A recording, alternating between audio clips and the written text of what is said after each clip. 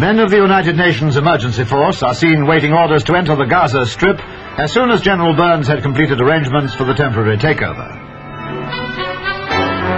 Israeli forces now began their withdrawal from the area, which they had occupied since last autumn. That evening, the arrival of United Nations troops overlapped their evacuation.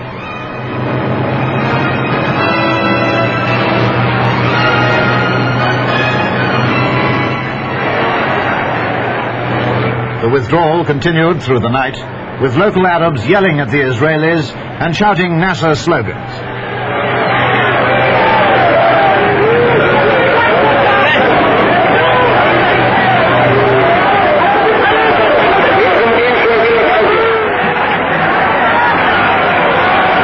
Since then, anti-UN sentiment seems to have been stirred up, and Nasser has announced the immediate takeover of Gaza by Egypt. United Nations troops have been accused of firing at civilians, and the whole situation once more threatens crisis.